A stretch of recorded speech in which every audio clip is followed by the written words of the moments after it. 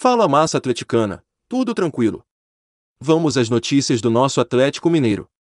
Mas antes de iniciar, deixe o seu like, inscreva-se e ative as notificações para receber novos vídeos. Aqui no canal Sempre Atlético Mineiro você acompanha todas as novas notícias do Atlético todos os dias.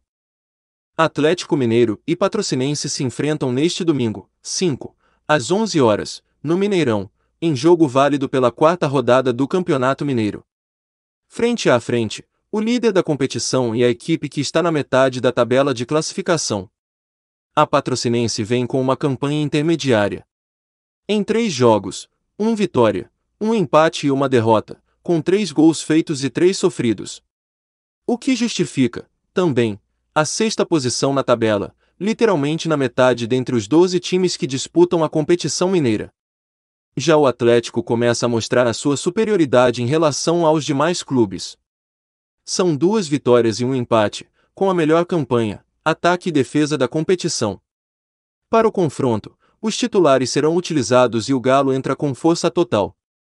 Prováveis escalações: Atlético Mineiro, Everson, Mariano, Nathan Silva, Godinho e Guilherme Arana, Alan, Jair, Zaracho e Nacho, Keno e Hulk desfalques, Vargas, Lesionado, técnico, Antônio Mohamed. Mudando de assunto, Atlético Mineiro renova contrato de atacante. Atlético mantém investimentos em sua base e assina renovação com atacante. O atacante Caia, que chegou ao Atlético emprestado junto ao Vila Nova Gol, em outubro de 2020. O período estabelecido terminou no fim do ano passado.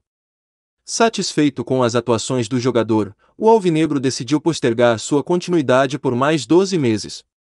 A informação foi publicada inicialmente pelo jornalista Paulo Campos, que cobre a base atleticana. Deixe aqui nos comentários a sua opinião sobre isso.